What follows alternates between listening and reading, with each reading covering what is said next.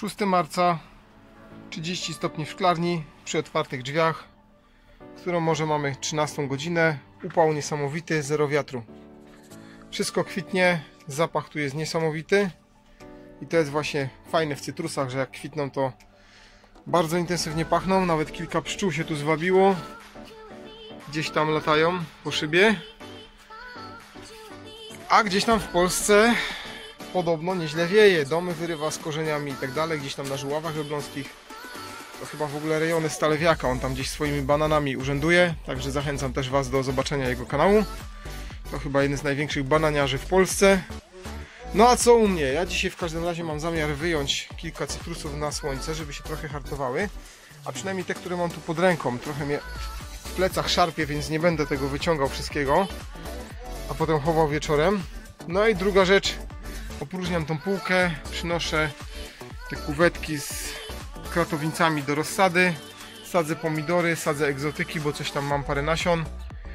Także zobaczymy się za chwilę, a ja tu się zabieram za wyciąganie tego wszystkiego. No i niektóre cytrusy się już tutaj opalają na dworze od jakichś dwóch godzin. Przyzwyczajają się do słońca, czyli do ultrafioletu, bo tego w szklarni niestety nie ma. Zobaczcie na to. Będzie gigantyczna kiść kwiatów przynajmniej. Zobaczymy, czy coś się zapyli. To jest oczywiście pomelo.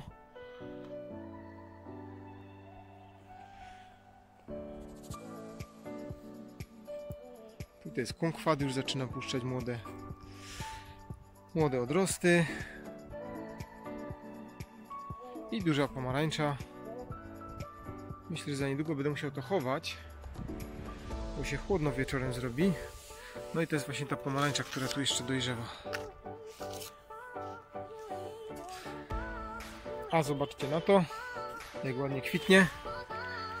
Jest to mandarynka tak zwana z liściem, takie przynajmniej można kupić w marketach. Czyli jakaś odmiana klementynki, którą właśnie sprzedają razem z gałązkami. Udało mi się ukorzenić, aż tu wiele razy mówiłem. Znaczy nie ukorzenić, tylko zaszczepić. No więc mam teraz pole do popisu, bo mogę rozmnażać dalej to drzewko. A tak przy okazji Wam powiem, mam już gotowy odcinek, bo właśnie kupiłem taki pakietek mandarynek z liściami świeżymi i w tym odcinku właśnie pokażę jak pozyskać te gałązki, żeby były jakieś szanse ukorzenienia. Małe, bo małe, ale zawsze są. Także odcinek będzie już niebawem. Subskrybujcie, dzwoneczkujcie, tak żebyście nie przegapili. A tu w środku mam przygotowane już pojemniki z ziemią. Takie sześciopaki na pomidory. Te pojedyncze pójdą na jakieś rośliny tropikalne, co do których mam trochę nasion, a tutaj za chwilę też ukorzenie cytrusy. Dlatego warto oglądać dalej. Także przechodzę do ukorzeniania. I teraz Wam właśnie pokażę, jak pobrać e, takie zrazy, gałązki do e, ukorzenienia. Zrobimy to na przykładzie mojej cytryny, którą chcę rozmnożyć. I zwrócę uwagę jeszcze na jedną rzecz. Ważne jest, żeby to pobierać wtedy, kiedy roślina, z której pobieramy, e, zaczyna, że tak powiem, okres wegetacji, czyli albo zaczyna kwitnąć, albo tak jak tutaj puszcza nowe e, gałązki, lub już przynajmniej widać, że zaczyna coś puszczać. E, najlepszym właśnie okresem jest tak jak u mnie, tutaj jest początek marca teraz, e, bo jest to w szklarni. E, I nawet do połowy lata można zaryzykować z ukorzenieniem. Natomiast druga połowa lata już się nie nadaje. Nie zdążycie ukorzenić przed zimą rośliny. Także tylko tak pierwsza połowa lata się nadaje. E, I jak właśnie do tego przystąpić? E, pierwsza rzecz, musimy wybrać odpowiedni, odpowiedni kawałek rośliny. Ja akurat chcę skrócić moją cytrynę, bo już wyrosła bardzo wysoka i odetnę po prostu jej kawałek. Akurat wszędzie mam owoce i szukam takiego miejsca, gdzie by tych owoców nie było. Chyba, że po prostu trudno i będzie trzeba taki owoc skasować. Zaraz jeszcze się rozejrzę. Tu mamy boczną gałęź, która kwitnie. Tak, myślę, że skorzystam z tej bocznej gałęzi, która dopiero zaczyna kwitnąć. Ona po prostu już za bardzo wybujała, jest dość długa, chcę ją skrócić. E, to jest właśnie najlepszy, najlepsza okazja do ukorzeniania. Kiedy skrócamy z cytrusa, możemy też oderwać gałązkę bezpośrednio z cytrusa. Pokażę Wam ją, jak oderwać na przykładzie już odciętej gałązki. Tą akurat odetnę, bo chcę skrócić. Takie skracanie cytrusów też e, dobrze wpływa na nie, bo się rozkrzewiają i pobudza je to dalszego wzrostu. Ja ciachnę w takim miejscu, gdzie właśnie mi to będzie najbardziej pasowało, więc zrobimy to tutaj. Widać? Widać. Cyk. I dość duży kawałek gałązki został odcięty. Teraz go wezmę na podłogę, żeby Wam pokazać. I właśnie taki kawałek gałązki mam odcięty. I teraz tak, czy robimy to na drzewku, czy to robimy na odciętej gałązce, musimy oderwać gałązkę z piętką. Zaraz Wam pokażę jak to zrobić. Zauważcie, że gałązki jak się rozgałęziają, mają takie, pokażę to na zbliżeniu, mają taką piętkę tutaj. I w tym miejscu właśnie, gdzie jest ta piętka, tą gałązkę, która idzie w lewo, możemy oderwać i tylko w tym miejscu ona nam się ukorzeni. Jeżeli tej piętki nie będzie, szans ukorzenia praktycznie nie ma, są niemalże zerowe. Także gałązkę trzeba oderwać, w dół ciągnąc, ale najlepiej, jeżeli to jest na drzewie, to warto ją y, naciąć tuż pod spodem, żeby się nie oderwała łata kory w dół, jeżeli robimy to bezpośrednio z drzewa. Mam tu taki stary nożyk, pokażę Wam. O właśnie, w tym miejscu powinienem naciąć i dzięki temu odrywając, kora się nie pociągnie w dół. Teraz właśnie to zrobimy. Widać wyraźnie nacięcie. Dzięki temu teraz mogę pociągnąć w dół i oderwać tą gałązkę po prostu w ten sposób. Cyk i już ją posiadam razem z piętką. Świetnie to widać. Jest ta piętka, o którą mi chodziło i właśnie na tej piętce wykształcą się nowe korzony. korzenie. W żadnym innym miejscu tak się nie stanie. Odrywamy oczywiście liście z gałązki. I taka gałązka bez listków, zostawiamy tylko oczywiście na górze parę listków. Taka gałązka bez listków jest pięknym, idealnym przykładem właśnie takiego takiego właśnie zraza do ukorzenienia. Tu mam też przygotowany drugi. Też muszę oderwać listki, tak żeby zostały tylko 2-3 na górze. Gałązki wybieramy takie, które nie są ani za grube, ani za cienkie. E, najlepsze są takie grubości, tak jak tu mniej więcej widać na tle mojej ręki. Jest to grubość, nie wiem, jakichś 4 mm e, i długości około 10 do 15 cm. Takie, takie gałązki ukorzeniają się najlepiej. No i już Wam pokażę, co z tym właśnie zrobić. Musicie się zaopatrzyć w ukorzeniacz do gałązek półzdrewniałych lub zdrewniałych. Ja tu właśnie mam taki ukorzeniacz. Taką gałązkę trzeba lekko zwilżyć w wodzie, ale nie powinna być za bardzo mokra. I wkładamy ją do ukorzeniacza. Trochę tam trzeba potąkać, otrzepać, tak żeby nie było za dużo. No i zostało trochę ukorzeniacza na tej gałązce. I to jest właśnie wystarczająca ilość. Teraz tą gałązkę wkładamy do doniczki. Ja mam doniczki tutaj przygotowane. W doniczce robimy otwór po prostu palcem, dość głęboki otwór do samego dna.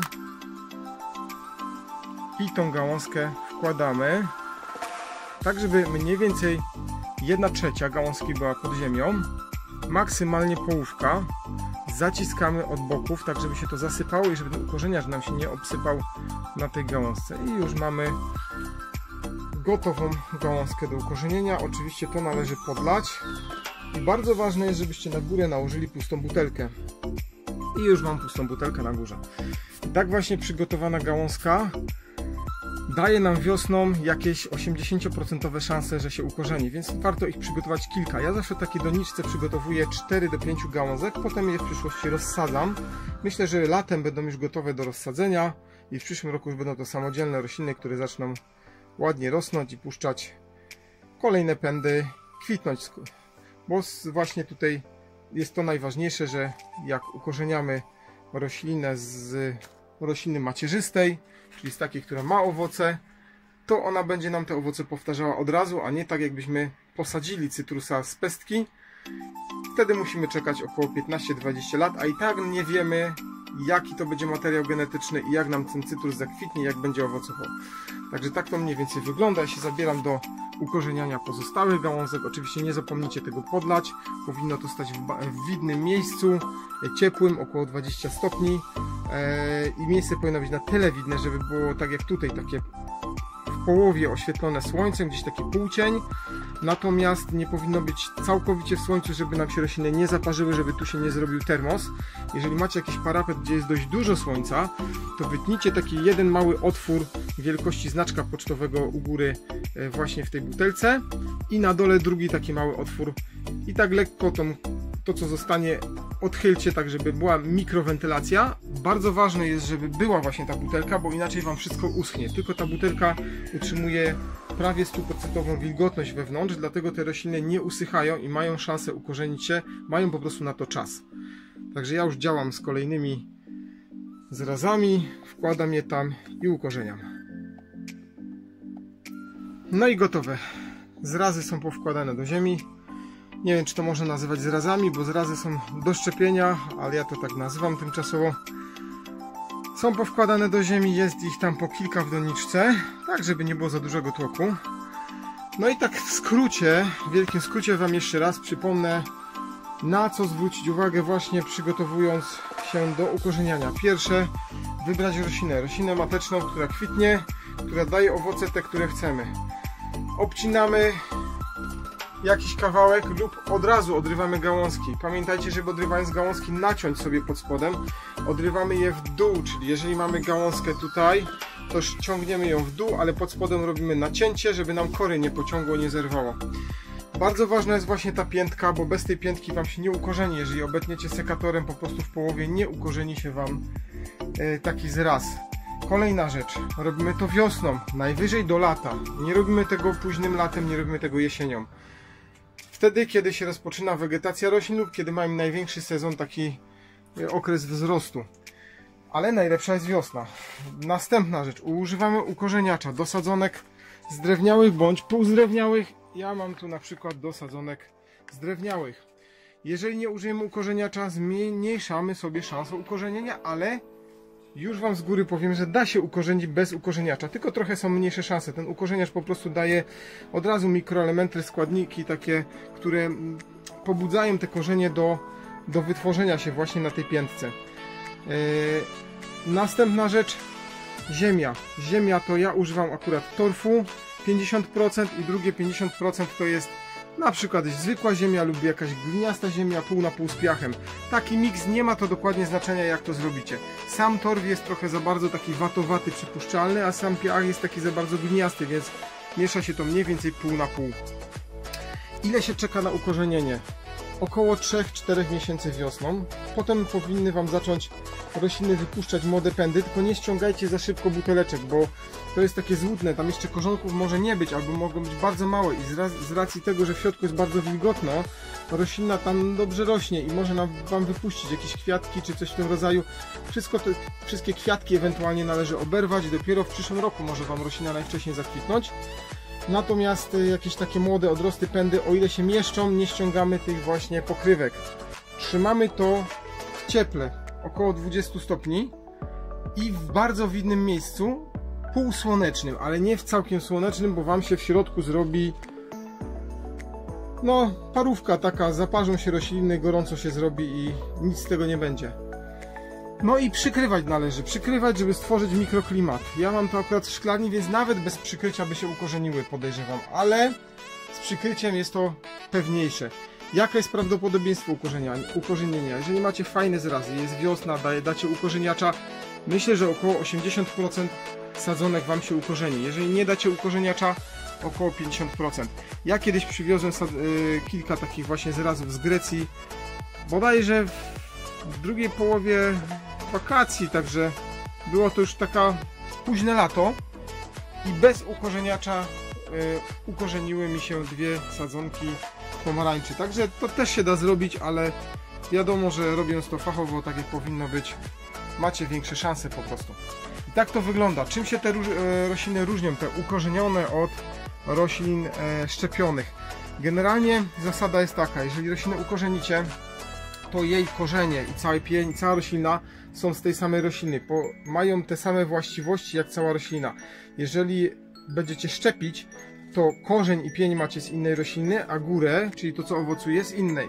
I mogą być inne właściwości tych roślin. Ja o tym jeszcze kiedyś pewnie powiem, ale tak w skrócie można jako przykład to podać coś takiego na przykład, jak tutaj właśnie na przykład na tej roślinie jest to właśnie liwa i ta liwa ma górę czyli tą, tą koronę ma właśnie roślina liwa, a pod spodem co tu mamy? Pomarańczę trójlistkową, czyli na pomarańczy trójlistkowej, właśnie takiej, która nawet w polskich warunkach mogłaby na dworze rosnąć. E, ewentualnie z lekkim okryciem agrowłókniną gdzieś na południu kraju, na, na, e, na zachodzie kraju, e, tam gdzie jest ciepło. Na, na bazie właśnie takiej podkładki zostało to ukorzenione, w tym, znaczy zaszczepione. W tym miejscu jest właśnie zaszczepiona roślina. Właśnie tak szczepiąc, ja tutaj na przykład mam kolejną roślinę, też na bazie podkładki jest zaszczepiona roślina. Szczepiąc rośliny po prostu korzeń mamy z innej rośliny, górę z innej. Jest to są plusy i minusy. Plusem właśnie szczepienia jest to, że możemy na większych roślinach szczepić i wyżej. Na przykład tu było szczepione na oczko, czyli te gałęzie są z innej rośliny, a to jest dzika podkładka pod spodem.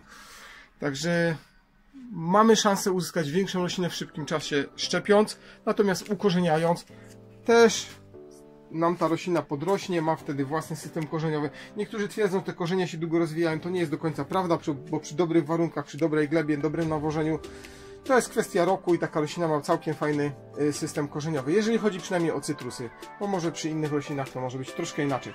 Pokażę Wam jeszcze raz, jak oberwać taki zraz na przykładzie zwykłego drzewa. Wam jak oderwać właśnie coś takiego na przykładzie zwykłego krzaczorka. Tu od spodu podcinamy po to, żeby nam się nie pociągła kora na dół i odrywamy taki właśnie zraz. Jeżeli ja go tak pociągnę teraz, tylko że przy owocowych drzewkach to nie jest takie proste, one są mocniejsze, to może nam się pociągnąć kora, czasami nawet dość długi kawałek i dlatego właśnie od spodu należy to podciąć. I to jest właśnie taka piętka. Z tej piętki w przypadku cytrusów świetnie można wykonać ukorzenienie. Akurat tu mamy dziką jabłoń. No i wracając do tego miejsca, już słońce ku zachodowi się chyli. Chyba się czas pożegnać. Wiecie już jak ukorzenić rośliny. Ja nie zdążyłem nawet porządnie wszystkiego zasiać. Pewnie kiedy indziej będę siał. Także no co? Chyba do następnego razu. O, widzę, że nawet grejpfrut zakwit. O, ile to jest grejpfrut? Tak, to jest grejpfrut. Popatrzcie. Pachnie tu niesamowicie. Także co? Do następnego razu. Jeżeli Wam to się podobają te odcinki, kliknijcie subskrypcję, dzwoneczek, ale wiem, że wielu z Was subskrybuje. Ja się może trochę z tymi moimi tekstami powtarzam, bo sporo osób się pyta ciągle jedno i to samo. Dlatego, bo nie chcę Wam się oglądać odcinków wstecz. Subskrybujecie, jak już jest na przykład 70 odcinków, czy ileś tam, nie chcę Wam się ich wstecz oglądać i się pytacie o to. Dlatego też się trochę powtarzam, także ci, co oglądają mnie systematycznie, pewnie ich to trochę nudzi. Dobra, do następnego razu i cześć, hej!